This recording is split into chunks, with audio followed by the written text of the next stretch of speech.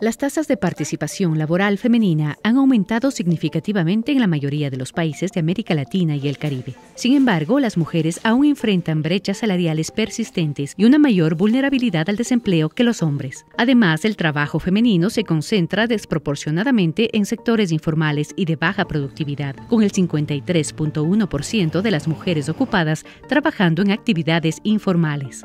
Yo he trabajado casi toda la vida eh, informalmente en arreglar casas, lavando, lavando lo ajeno y, ahora que en este trabajo que estoy actualmente, que es igual, es informal porque se gana muy poco. Semanalmente yo gano 50 dólares. Para no perder el, mi, mi, trabajo que actualmente tengo, o sea, yo tengo que madrugar, y irme a pie, porque o sea, lo poco que se gana no alcanza para, para irse todos los días en un bus no alcanza para, para a veces ni, ni para comer toda la semana, o sea, porque hay deudas, se paga el arriendo, se paga, o sea, por eso tengo que tener ese trabajo para, para poder solventarme yo y mi hija, porque mi hija todavía sigue estudiando. Mi desafío es tenerle ese trabajo para poder comer yo al diario, a veces se queda sin comer por, por lo poco que se gana, pero puedo solventarme un poco más yo. Ya no ando, ya no ando de un lado al otro, buscando dónde lavar.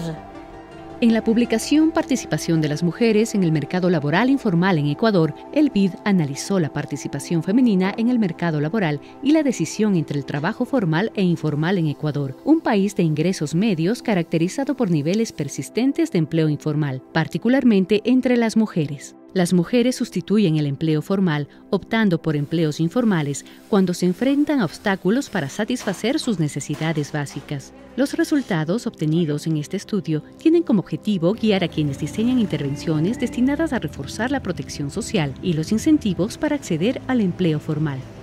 Mi meta es acabarle de hacer estudiar a mi hija, verle, verles licenciada, verle ser alguien en la vida. Esa es mi meta, ese es mi sueño.